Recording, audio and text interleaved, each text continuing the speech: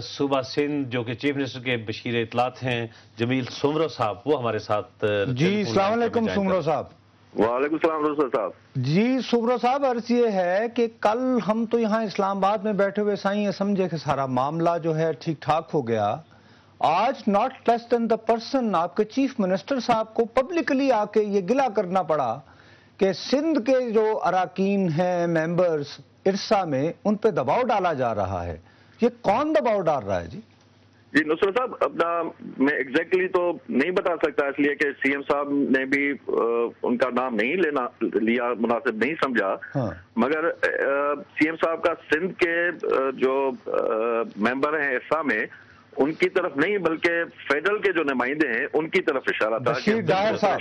किया जा रहा है बिल्कुल सही तो अपना प्रेशराइज ये ये प्रेशर जो टैक्टिस है वो अब से नहीं है मगर मैं आपको ये थोड़ा बताता चलूँ कि इससे पहले भी जब ये फैसला हुआ था सीजे लिंक केनाल को खोलने का तो भी जो पंजाब के नुमाइंदे थे क्योंकि शफकत महमूद साहब शायद उनके नाम उनका नाम है तो उन्होंने उन्होंने किया था उन्होंने भी प्रेशर डाला था उन्होंने भी ये किया था कि उनको फ़ोन करके कहा था और बुला के कहा था कि आए और आप यहाँ पे सिग्नेचर करें।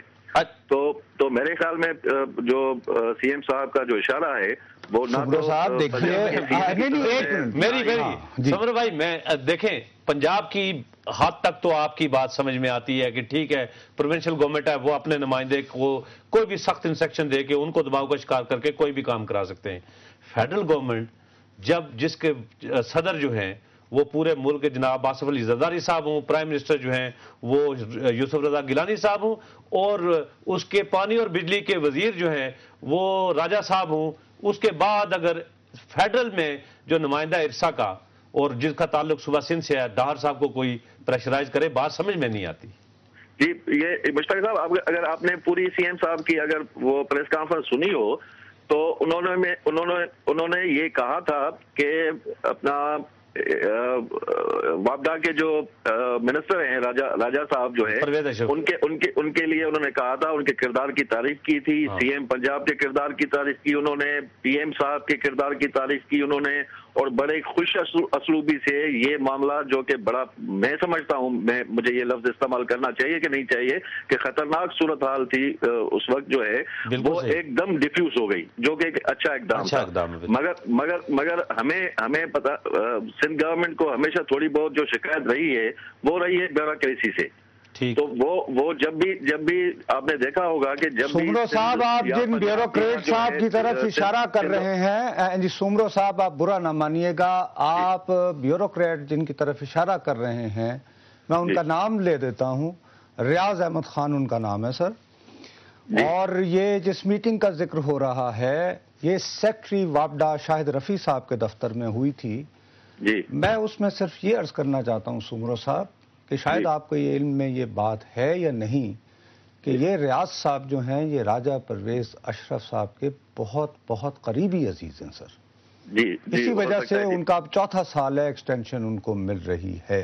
तो फिर बजाय इसके कि आप पब्लिकली ये बात करें आप राजा साहब को कहें कि जी अपने अज़ीज़ को समझाएँ हमारे ऊपर जरा ठीक हो जाएँ। हमारी जिन छोड़े कोई ये नहीं नज़र अल्लाह ने आजे हुसैन को मोहब्बत करें मुझे मुझे वाकई भी वाकई भी मुझे ये इलम नहीं था और अगर आपने ये बताया है कि तो अभी मैं मेरे ख्याल में अ, मैं तो नहीं मगर सीएम साहब या हमारे इरिगेशन के मिनिस्टर उनको गुजारिश करेंगे कि वो अपने रिश्तेदार को या कोई भी जो उनकी मिनिस्ट्री में ब्यूरोक्रेसी है उनको कम अज कम जो है अवामी नुमाइंदों के और हुकूमत के अरकान के जो भी हुकूमत में है जो जमहूरी हुकूमत है फेडरल में भी यहाँ पर सिंध में भी पूरे पूरे चारों सूबों में तो उन जो है इलेक्टेड मेंबर्स का और उनके अरकान का जो है वो ख्याल ज़्यादा किया करें।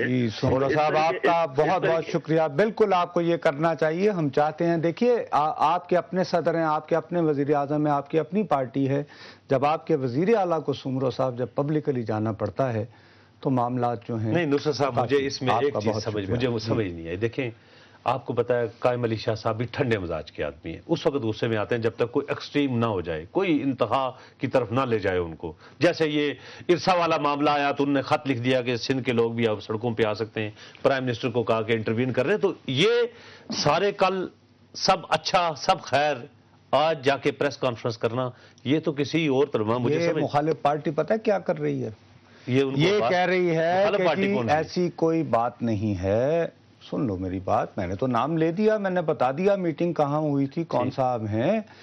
वो ये कह रहे हैं कि कायम अली शाह साहब को पैगाम पहुँचा है कि सर अब आप जरा आराम कर कीजिएगा। और निसार खोड़ो या पीर मजरुल हक अच्छा इन दोनों में से किसी एक को शायद मंजूर कर लिया जाए कहा यह जा रहा है ये जो मुखालिफ पार्टी दावा कर रही है इस बात की मेरे पास कॉन्फर्मेशन नहीं है जिसकी कॉन्फर्मेशन थी वो मैंने कह दिया। ठीक है ना? वो ये है कि लंदन ठीक है, उधर से क्लियरेंस के लिए। कि पीर मजरुल हक या निसार खोड़ू साहब तो यूँ लग रहा है कि कुराए फाल शायद निसार खोड़ो खोड़ो की तरफ़ जो स्पीकर तो इन्होंने कहा कि मैं अब इसलिए पब्लिक आऊँ कि सिंध के हकूक का चैंपियन और शहीद बन के चले अल्लाह करे कि ये भी हो अल्लाह करे ये गलत नहीं ये मुखालिफ पार्टी ये पार्टी कर रही है। मैं नहीं इसी कह रहा हूँ हरगिज मैं नहीं कह इसी रहा हूँ। पे नाजरीन से इजाज़त चाहेंगे लेकिन जाने से पहले हमारा email address DMA at Dunya TV dot TV Nusrat Javed और मुश्ताक मिनाज को इजाज़त दीजिए। खुदा। अल्लाह।